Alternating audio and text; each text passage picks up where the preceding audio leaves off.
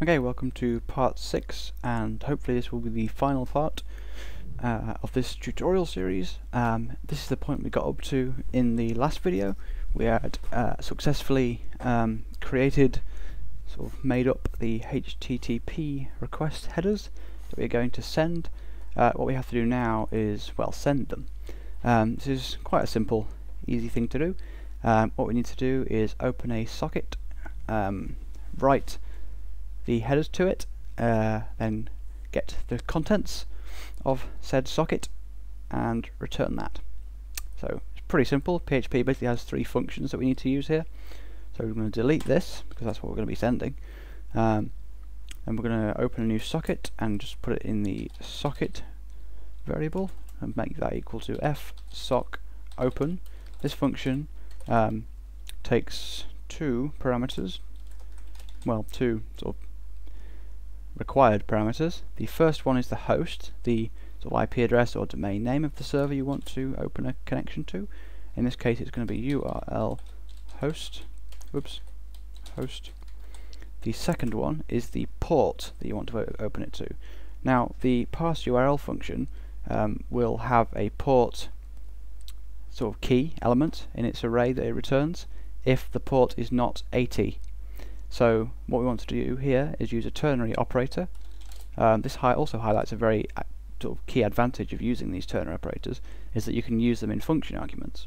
So inside this port argument we want to check if um, we want to do a check for um, something and then sort of well there you go that's the basic ternary operator so in the check is going to be is set URL port and if it is set uh, hang on in the bracket there. If it is set we want to use it. So I'm going to define that there URL port not post port port.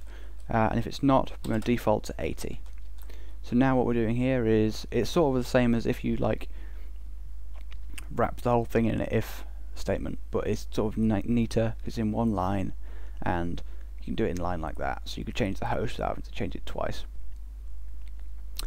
Uh, so that's what we're doing there to open the socket. And now we need to write the header to that socket.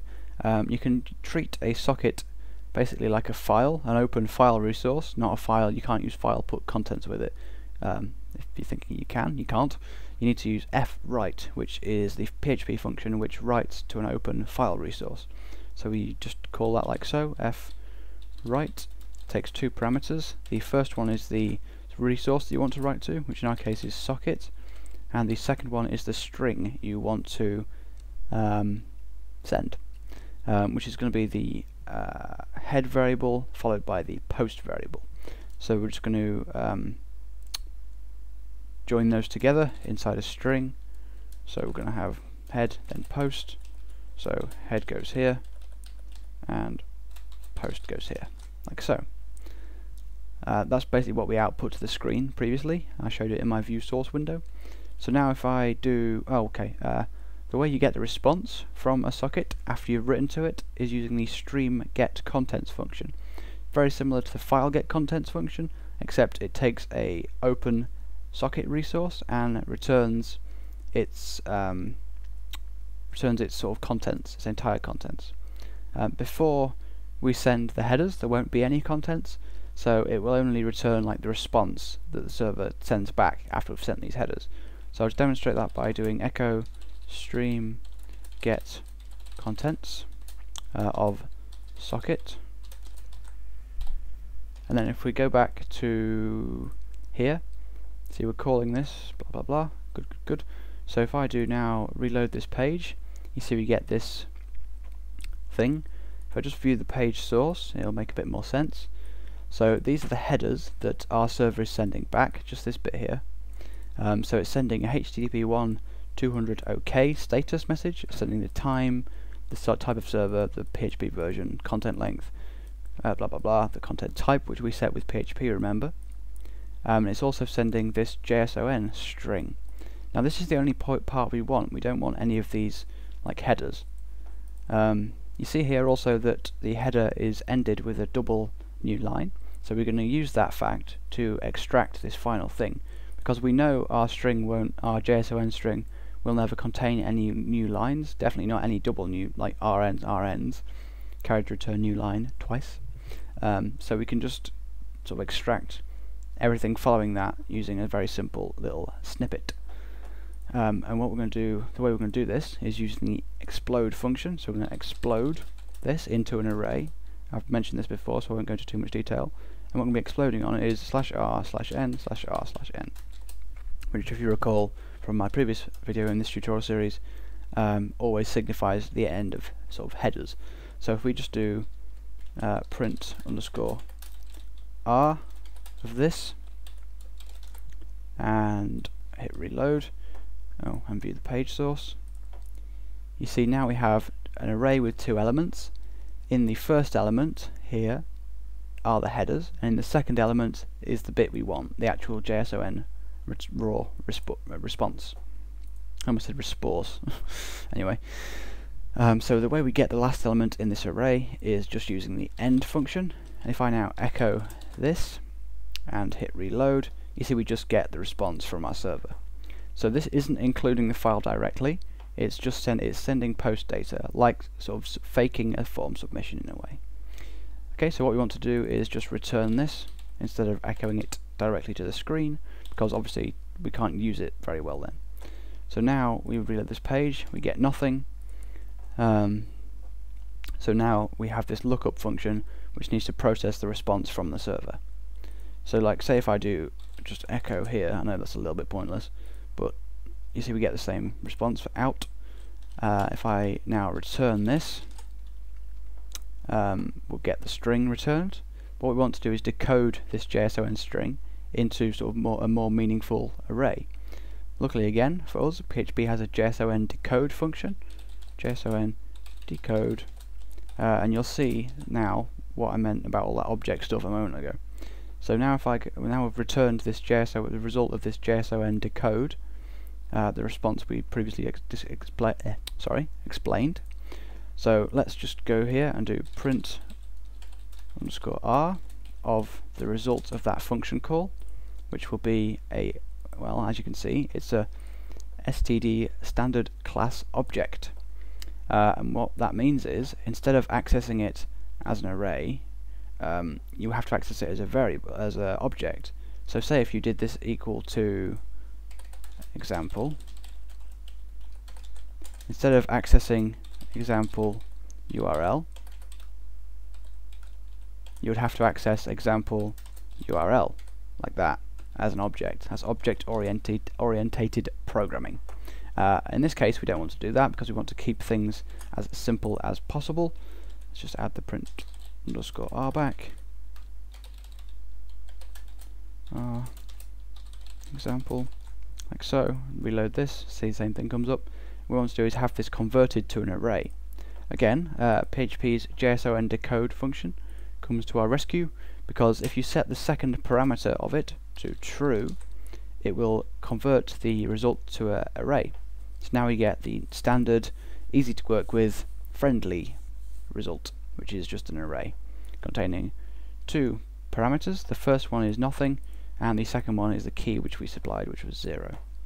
If I supply the key as 1, I believe, you see we get uh, the URL out as Google, so we could like header location this result um, based on something in the URL like we did um, with the go.php file in the URL shortening tutorial.